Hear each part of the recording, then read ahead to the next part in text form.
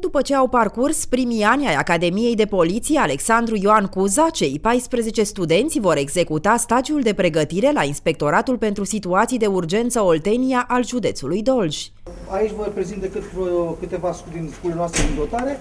Ceea ce avem este grupul de pompare, da? acționat printr-un motor de combustie internă, rolele de furtun pentru extinderea la distanța sculelor, da? și cele două scule de bază cu care noi de obicei lucrăm la descarcerări. Depărtătorul, da, și depărtătorul care de ce face? Depărtează și strivește, da, sau trage în funcție de cum lucrăm cu capetele de lucru. Conform procedurilor, fiecare student a fost repartizat unui pompier cu experiență care va îndeplini atribuții de tutore profesional până la finalizarea stagiului de practică și care îi va prezenta specificul fiecarei misiuni. Studenții vor desfășura activitățile de practică pe o perioadă de 4 săptămâni, timp în care vor participa la toate intervențiile și misiunile pe care le are subunitatea noastră. De asemenea, în această perioadă uh, li se vor prezenta tehnica de intervenție, accesorii, utilaje, vor lucra practic cu tot ce avem în dotare și de asemenea își vor consolida cunoștințele teoretice pe care le-au dobândit în facultate.